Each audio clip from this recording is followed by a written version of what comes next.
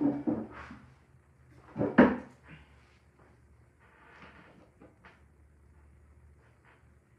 morning, everyone. Welcome to Sex Talk with Sharonda.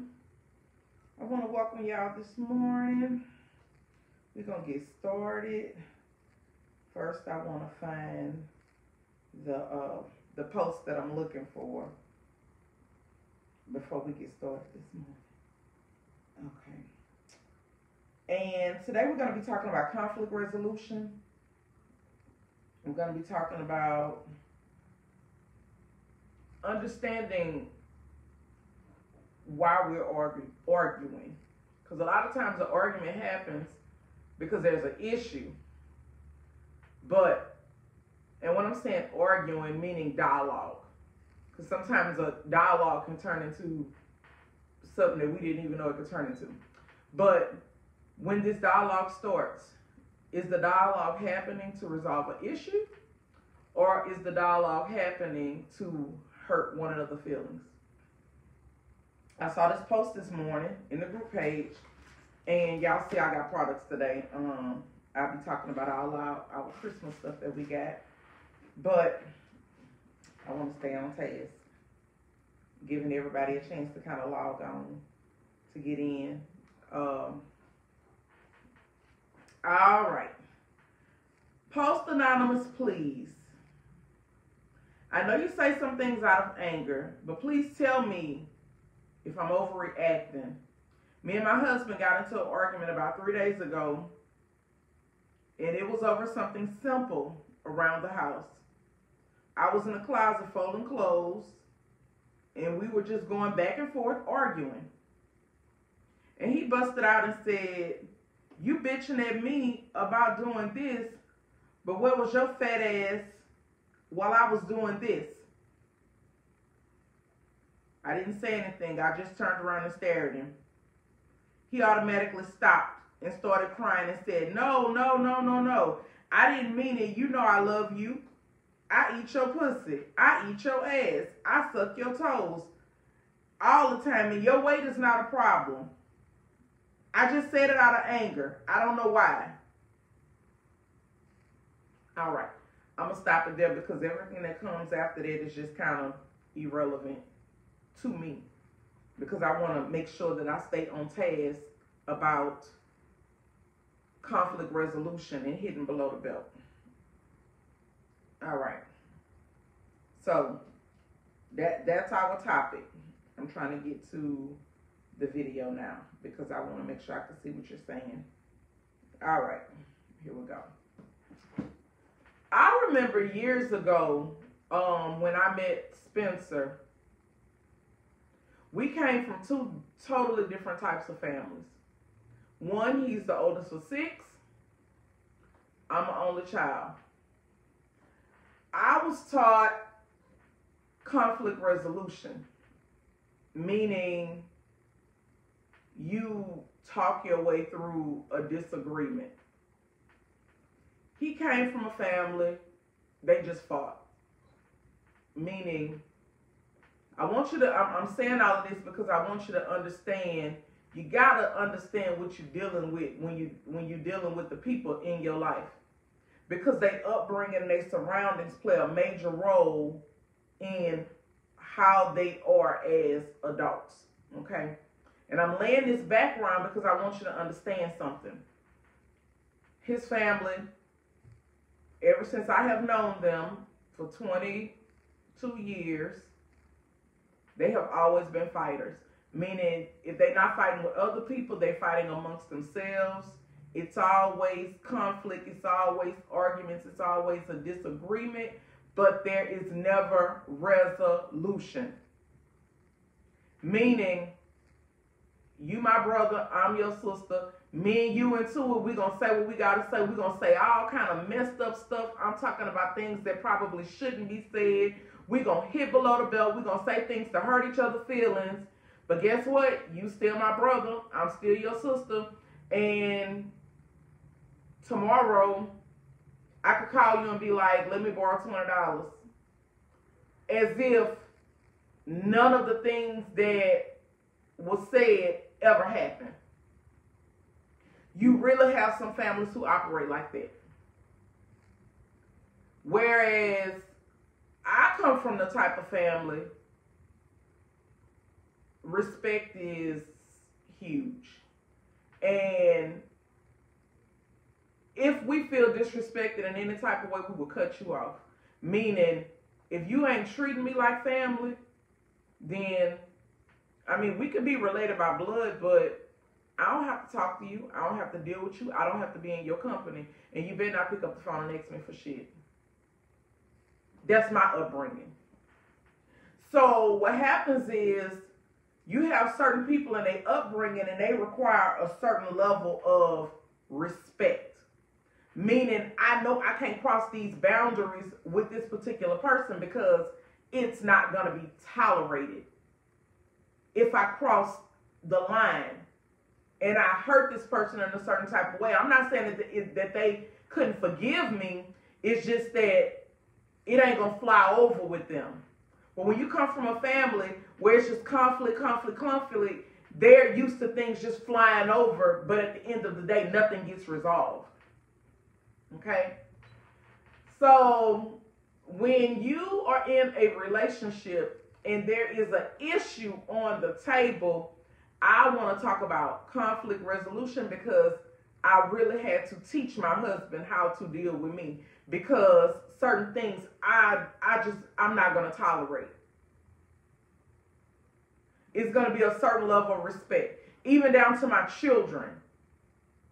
It's a certain level of respect. We're not going to talk to them any kind of way. We're going to treat them a certain type of way because when they get out into the world, they're going to require a certain type of respect. Okay, so with this situation, it was an argument, it got heated. He hit below the belt by calling this woman fat. And she's basically saying, you know, am I overreacting? He's apologized. He's doing all of this and that the other. But I am a firm believer that we teach people how to treat us. You teach people how to treat you. You teach people what you will and won't tolerate. Now, on this group page, when you ask for advice, you have to take things with a fine grain of salt because you got to understand that a lot of women in this group page are not in relationships. They're not even in marriages, but they still want to give their input.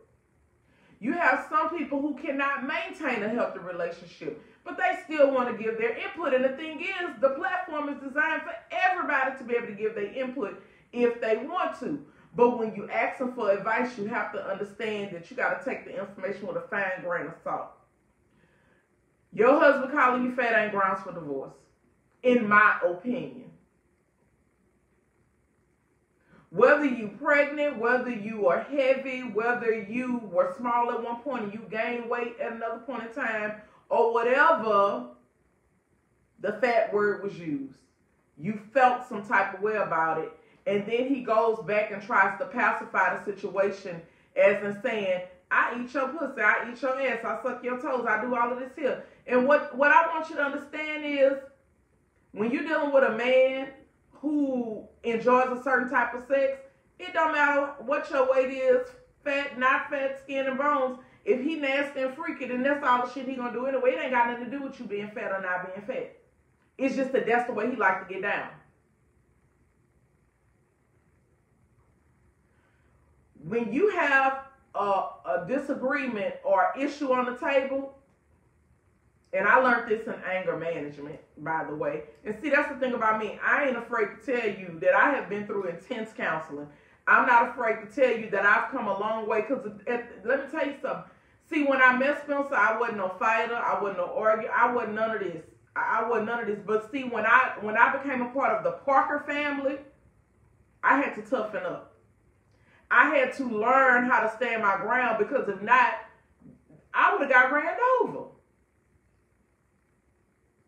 But what happens is sometimes you you take on the attitude of the people that's around you. And sometimes that ain't always the best way to handle things. So at one point I had to end up being court ordered to go to anger management. And in anger management, I learned certain things that I, I kept with me. When you have an issue and you having dialogue, the dialogue got to be about that issue. In other words, if you are arguing about, I'm gonna use this one. If you arguing about um not flushing the toilet or leaving the toilet seat up, if the issue is you won't put the toilet seat down or you won't flush the toilet or, or whatever it is, if that that's what the issue is, you can't go off into his nasty uh you, you can't go off into um oh you cheated on me last year. And I bet you um you put the toilet seat down in her house. You can't go off into don't tell me nothing about how to keep my the uh you know don't don't tell me nothing like this the man talking to you. Don't tell me nothing about putting no toilet seat down and flushing no toilet and nasty as your mama house is.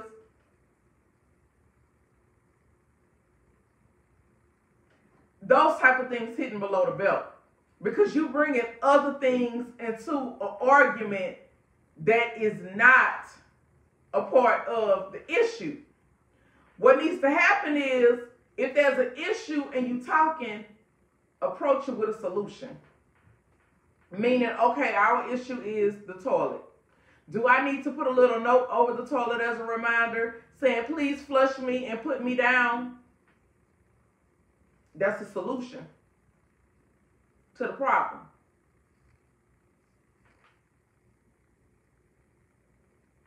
I'm looking, I'm reading, I'm just trying to see if anybody got questions, concerns, comments. If you having an issue and the issue is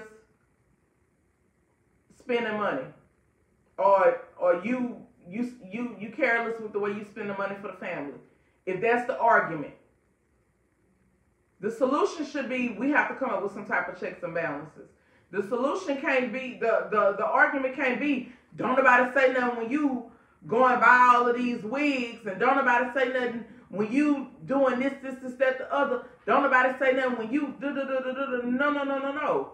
If the issue is you spending money and it's not accounted for, then that's the issue. Because when I spend money and I buy a wig, it is accounted for. I can show you where the money went. But the difference is when you spending money, you're not bringing in anything for the money that you spent. It's a difference. Suppose you spending money on pills. When you spending money on pills, and I may be one that like to go out to eat and, and dine, well, the difference is if I'm going and I'm spending money on providing food for the family, we all benefited from the money that was spent on me going out and providing food for the family, going out to buy food to eat. Whereas you spending your money on pills and you're the only person that's benefiting from that. It's not anything for the uh the the total good of your family. So the thing is, you have to make sure that when you are approach approaching an issue and you have a certain position, you have facts to back up the position. See, the thing is, a lot of times, I'm gonna use myself for an example. When I have an issue, a lot of times I'm laying out the facts for the issue, right? But what happens if I'm dealing with somebody and they're not arguing from the position of let's talk about the facts. And they're talking and, and they arguing with, I just want to hit below the belt and shut you up. And I want to win the argument. The thing is, if the if the if the issue isn't resolved, then nobody won anyway. Nobody won if the issue is not resolved. You have to deal with whatever the issue is. You have to stay on topic of what y'all talking about. And you can't be going back to the past and you did this, you did this, you did this. And last year you did this, you did this. And five years ago you did this, you did it. No, no, no. You will never get an issue resolved like that. So I just think as adults, we have been, we have this mentality as adults because we grown, we say what we want, how we want, when we want. And we have, we've been programmed to have that mentality and that's not necessarily right. It's not necessarily the way things should go. Yes, you're an adult, but you have to say things respectfully. It's a time and a place to say it. And it's a way to say it. You see, when you on that, I say what I want, how I want, when I want. When you dealing with somebody that got a mentality like that, they will come to your job and act a fool. Because they don't have no boundaries. They will curse you out and say different things and hit below the belt and call you out your name because they lack boundaries. It ain't what you it ain't what you say, it's how you say it. When you're dealing with a person that say, I say what I want, when I want. See, when they feel like I say what I want, that means that they don't even feel like they have to have any type of thought about how they're saying what they're saying. You gotta deal, you gotta understand what you're dealing with. When you're dealing with people, you gotta understand, am I dealing with somebody that's a thinker? Or am I dealing with somebody that just fly off the handle and get mad about everything, get mad about everything and just say shit? Only you know the person that you're dealing with. We teach people how to treat us.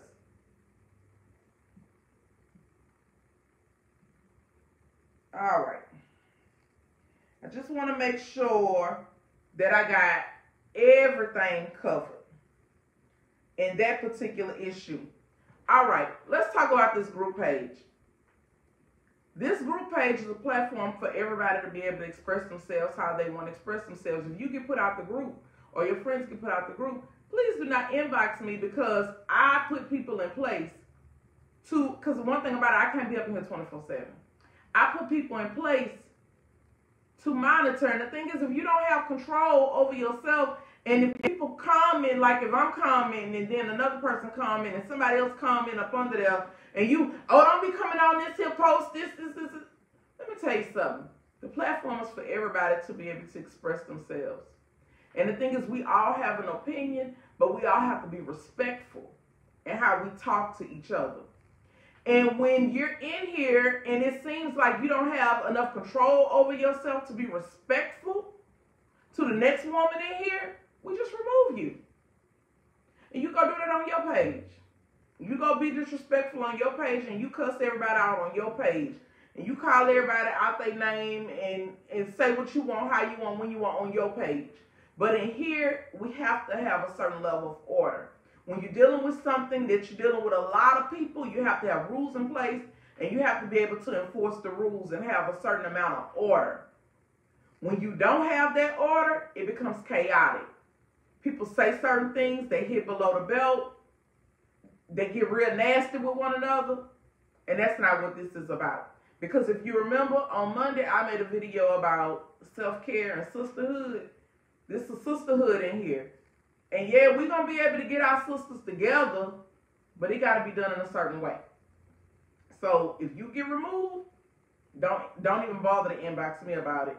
Cause I'm and then in other words, I put people in place and if they make a decision, I respect their decision. I, I even I respect their decision because they're not gonna just put you out because they don't like you. Because it's not personal. It's about the greater good of the group. If you toxic and everything you say is toxic, and you up in here trying to elevate everybody's blood pressure, bitch, you gotta go. You gotta go. Okay? All right. So it's beginning to look a lot like Christmas around here, y'all. As you can see, our red lace see-through onesies are in stock. They do go up to a 2X. Now, these have a lot, a lot, a lot of stretch. Whole lot of stretch. With that being said, if you want to go down a size, you can. And it'll still fit you good. We have our Santa hats in, naughty. They are reversible. Or you can put it to nice. So if you want, if you at work, you can wear it nice. When you get off on your own time, naughty. All right. Um. So yes, we do have these in stock. Another thing, the Santa, the Mrs. Claus suit that y'all saw me wearing, I do, I restock these because the first day that I put them out, the, the first day y'all saw me wearing it, I sold out of them that day. But I just restocked and we got more in.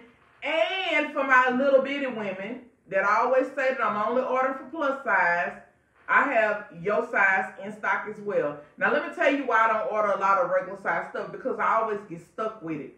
Even with the Halloween costumes, all the plus size stuff is sold. Plus size stuff always sell. Stuff for the regular size people, it ends up sitting here. Gag gifts are in stock. Christmas is around the corner. This is a gag gift. These socks say I love cop. These are socks. Yes. Confessions. Candy cane game. It is in stock. What is the naughtiest thing that you've ever done on Christmas Eve or Christmas Day? This is a, a game of confessions. And it's a drinking game as well. So uh, you basically lay them out amongst a group of friends and y'all pick them up and you start confessing and the person that don't want to confess got to take a shot. Ring for Sex Bell is in stock. Secrets, Santa's secret sex positions. Okay, this is good for holiday humping. All kind of sex positions. This is really great for my people who is 20 in here. So you can use this the whole month of December, meaning um, every day you can give your significant other a voucher and y'all hump in a different way. Okay? We got that. We got the 12 days of Christmas activity calendar. And this is 12 different sexual positions when you open this up. So when you start playing this game, it's 12 days of Christmas, which is 12 days of fucking, which is 12 days of different sexual positions. And none of them are things that you can't do, okay? I only see one of them in here that's kind of challenging. But uh, I think if you got to chill something, you'll still be able to get it done. All right. Our, this is just another version of the little Christmas hat. This one here actually lights up. So this headband lights up. We talked about this. Oh, under the mistletoe. This is a couples, I don't want to say, you can play this in a group setting, especially swingers. You can play this, or if you want to take some of the dice out and just do as a couple, you can do that too. But this is great for group sex and orgies because during this time of year, a lot of people in the swinging community love to hook up around the holidays. So if y'all part of the swinging community, come see me. Y'all will absolutely love these dice. Okay? And the last thing is the perfect kitty. The reason I ordered the perfect kitty is because a lot of y'all have like little nieces that may be in like their 20s. And you like, you know what? What's something really cute that I can give my niece that's going allow her to do her, but it don't necessarily just look like a vibrator. This one looks like a kitten paw, but it's an actual bullet. Okay.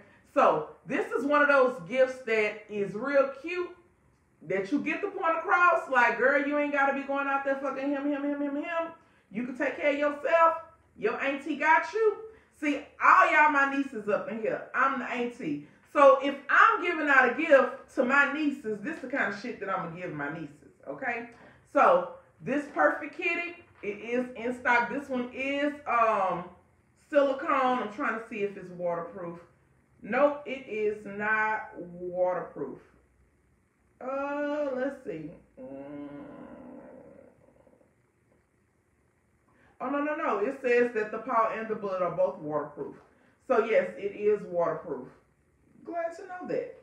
Glad to know that. So we also have a bunch of these in stock because we know these are this is going to be a, a great holiday gift to be able to give to the young ladies in your family. And I think that is about it for today. You all be blessed. And huge shout out to Michelle Knox, my Mary Kay lady. She dropped off um, a new eyeshadow palette to me um, that was in my order and I tried it out. I thought it was really cute. I really normally don't do the contouring and all of that, but today I played around a little bit with the contouring and all of that kind of stuff. And of course, I got my uh, lip gloss that I wear all year long, golden. If you're looking for a Mary Kay consultant, go see Michelle Knox. If you're looking for a Avon consultant, Joy, my order came in yesterday. All five bottles of my Skin So Soft came in yesterday. Make sure y'all see Joy uh, Watson in the group. She is a Avon consultant. So And when my husband seen it, he was like, "That's a whole lot of skin so soft. You got enough to last us a long time." Yeah, because Avon got a really good sale going on right now for the holidays. Um, and I think that is about it. You all be blessed. And y'all, of course, y'all know the ones that they done went up to $39.99. These lace ones is a lot more expensive for me to order than the regular cotton ones. Uh, oh, the um the butt flap onesies. I put the order in for those. They will be in hopefully next week sometimes. Those are the ones that you unsnap the butt on. So I said I wasn't gonna do no Christmas onesies, but I did order just a few because they had butt flaps, meaning you take the butt flap part loose and he can hit it from the back without you taking your whole onesie off. Yeah, I'm trying to see what that should be like. all right. I think that's about it. You all be blessed. I am about to wrap it up here because I have beans on at home and I got to get to my pot of beans. And y'all,